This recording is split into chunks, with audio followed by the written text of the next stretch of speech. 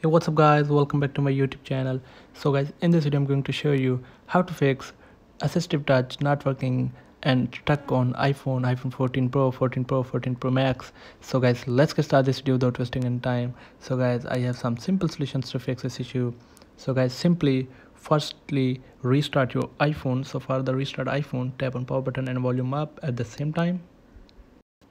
So drag this slider to the right to turn off and simply after restarting your iphone open your lock screen here. So the next solution is reset all settings. So for this open settings scroll down tap on general scroll down tap on transfer reset tap on reset and reset all settings here. So guys this will reset all settings. No data or media will be deleted from your iphone. So tap on reset all settings and after this so the next solution is update your iphone to the latest version of ios. So for this open settings scroll down tap on general tap on software update.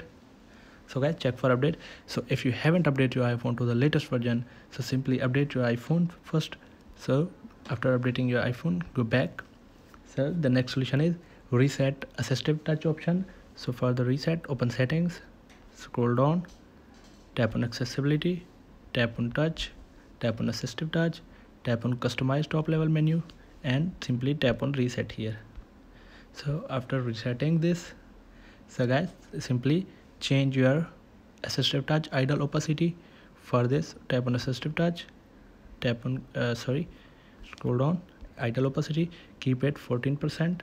So so guys here are the some simple solutions to fix your assistive touch issue on your iphone 14 so guys thanks for watching this video. Please like share and subscribe.